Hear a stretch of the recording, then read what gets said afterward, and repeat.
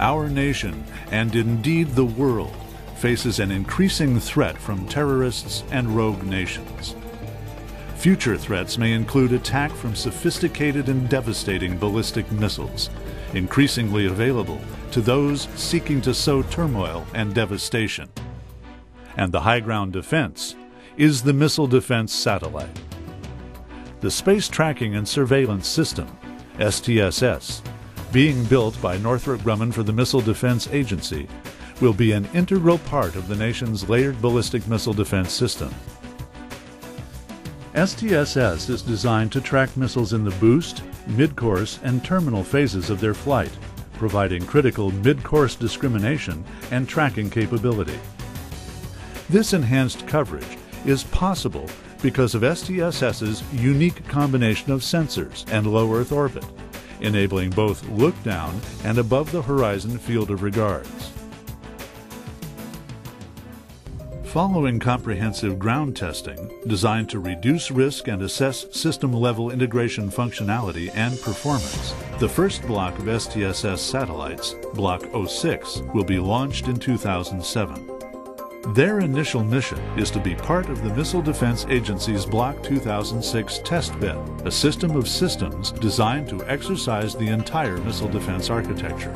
Ultimately, the system will be tested against actual short, medium, and long-range targets, including dedicated theater and strategic class missiles. As an integral part of MDA's testbed, STSS will be available to support all of the testbed's ground and flight tests, as well as the missile defense integration exercises, hardware in the loop testing, and the system integrated flight test against targets of opportunity. Test data from the initial satellites will be input into the command, control, battle management, and communication element of the missile defense system, allowing a low risk assessment of how the entire system performs.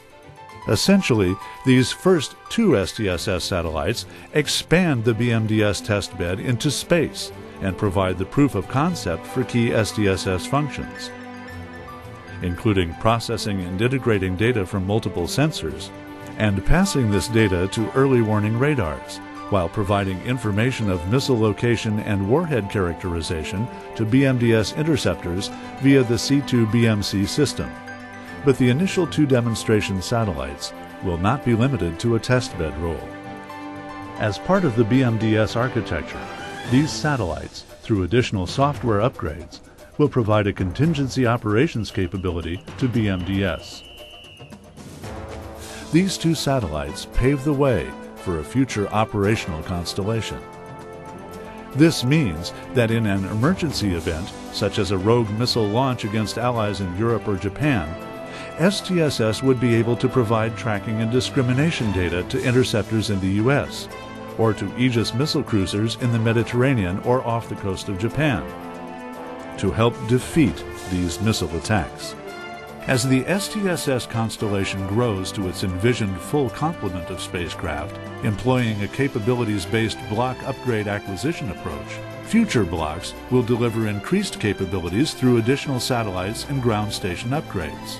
Further technology upgrades will be inserted in a regime of spiral development as technology matures and is proven, with the ultimate constellation size determined by BMDS requirements.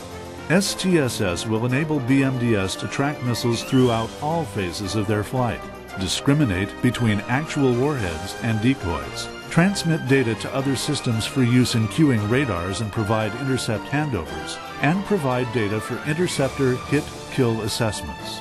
Ultimately, the STSS constellation will provide unparalleled global coverage, extending the high ground advantage that history confirms is key to victory for deployed U.S. and Allied forces worldwide.